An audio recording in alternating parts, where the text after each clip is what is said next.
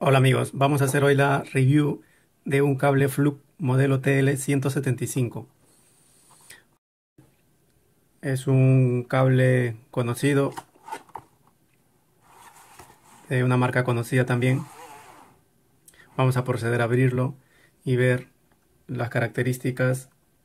También aquí se ve el año, año 2014, ya es antiguo, estamos 2017 y decirles también que cuando compren cables siempre fíjense en el año. Este mm, pone de 2014 y el fabricante te da un año de garantía. Si, si le pasase algo durante ese tiempo con la factura se puede reclamar. Pero un cable mientras más tiempo pase se va deteriorando y la composición de la misma silicona también toma la forma en la cual está guardado el cable. Por ejemplo, aquí está en forma circular. Si pasara 5 años y quedaría de esa forma, ya no sería tan maleable como lo es al principio de nuevo. Así que siempre les recomiendo que se fijen en el año, ¿vale? En esta ocasión yo no me he fijado ni cuando me fijé ya era tarde. 2014, pone el mes también. Vamos a proceder a abrirlo y ver este cable más detalladamente.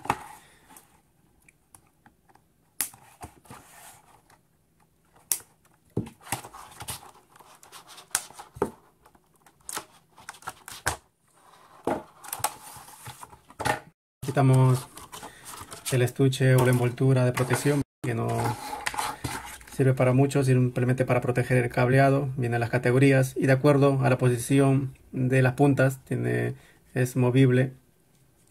Eh, también te muestra las categorías. Aquí, ahora vamos a ver más detalladamente, pero muestra las categorías en la, en la parte del plástico. Esto no tiene nada más. Y vemos las puntas o sondas de prueba o sondas de test o cables. La gente le llama de diferentes modos. Quitamos el alambre y vamos a ver si el cable. Bueno, vamos a voltearlo que se vea más detalladamente. Pone 10 amperios. Este símbolo, esto es que tiene doble protección, doble silicona, doble aislante eléctrico. Y este símbolo que muchas veces se confunde con un signo de electricidad es un signo de admiración. Esto significa pues que eh, cumple eh, los 10 amperios de conductividad eléctrica siempre y cuando se cumplan ciertos requisitos que viene escrito en la página de Fluke o en, algún manual. En este caso, aquí en el estuche o la envoltura de protección no viene.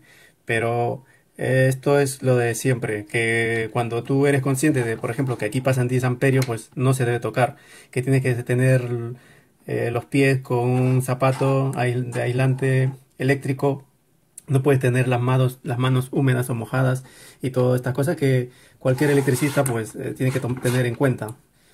Comenzamos, vale, aquí poner modelo, obviamente la marca y esto es lo que decía este papel.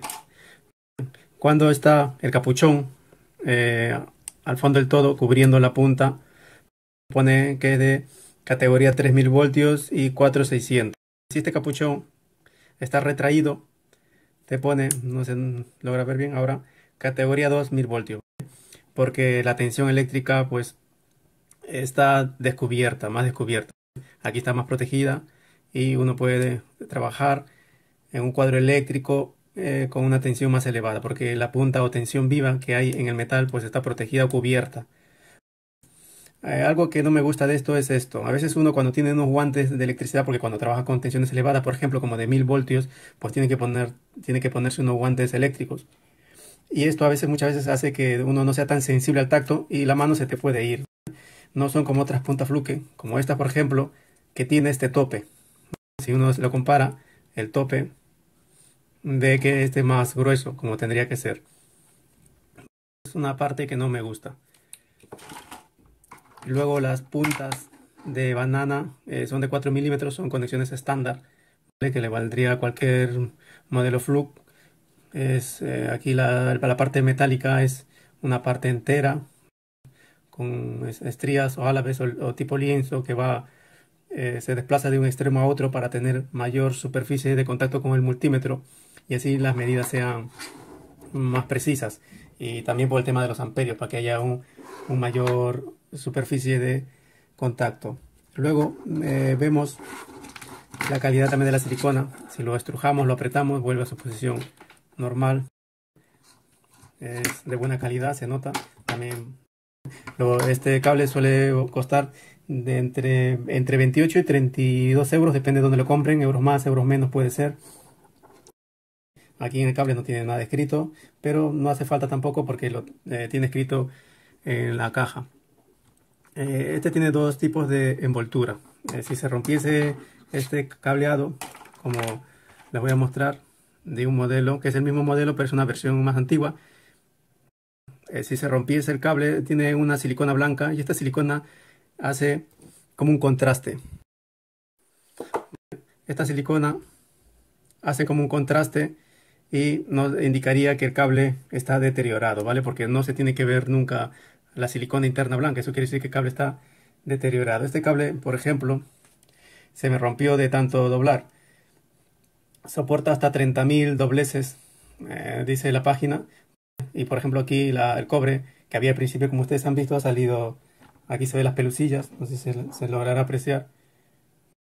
¿Por qué? Porque ha estado roto. Se me, de tanto usar también se suele romper. Como todo, no es eterno, pero suele durar más que otros cables, normalmente.